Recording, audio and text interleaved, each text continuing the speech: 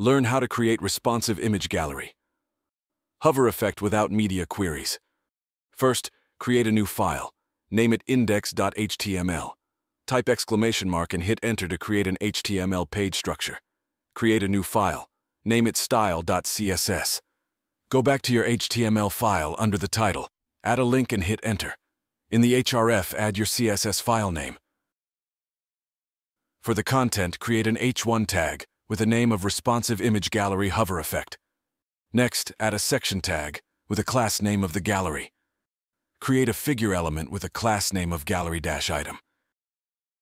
Add your images inside each of the figure elements.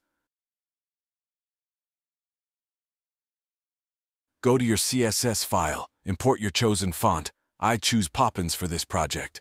Add a CSS reset. For the body, add your font family and background color.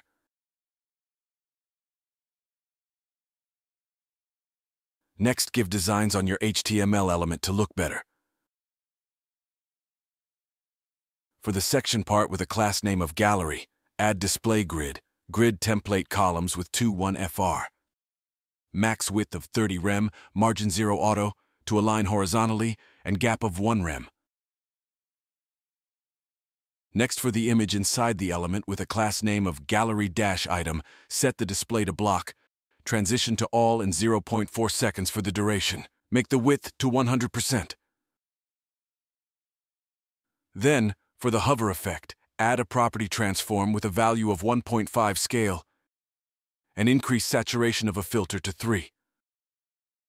Lastly, for the magic to happen, on the element with a class name of gallery-item, add overflow to hidden.